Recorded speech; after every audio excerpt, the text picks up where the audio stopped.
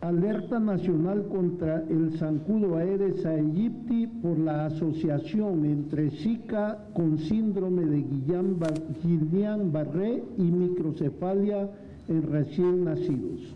Por su parte, el Ministerio de Salud ha presentado un informe sobre la situación epidemiológica de las enfermedades de chikungunya, dengue, zika y de la última mencionada. Hay tres casos confirmados y más de 3.000 sospechas. Hemos tenido una reducción considerable que al final del año son aproximadamente unos 3.000 casos menos que el año pasado, ¿verdad? que es una reducción del 6%.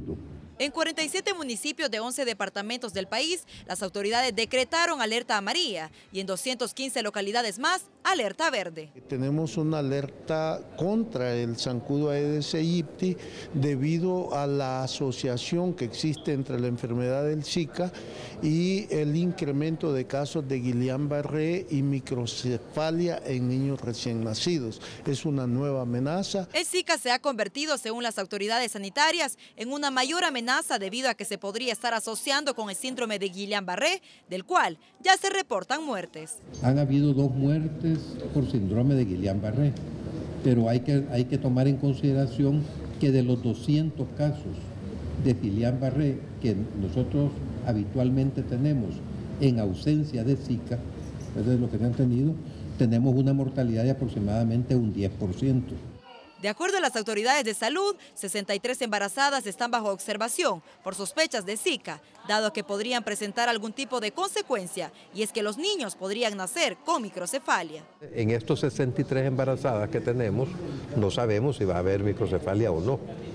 Estas 63 embarazadas son embarazadas en las cuales se detectó un episodio febril en el primer trimestre de su embarazo.